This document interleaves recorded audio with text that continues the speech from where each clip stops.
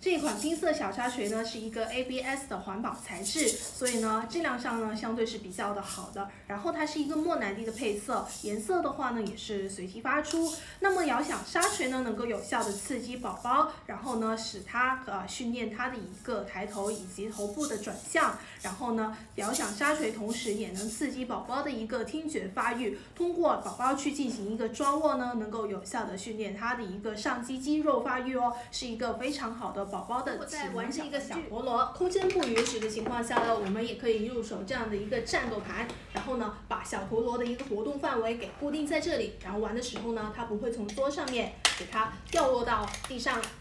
来，在这个战斗盘里面玩的也是非常的好玩的。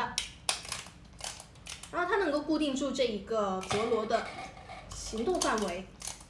然后不会怕这一个陀螺在桌上滚来滚去，然后掉落到地上，影响我们一个玩耍的趣味性。然后马上就要垒到最高的一层了。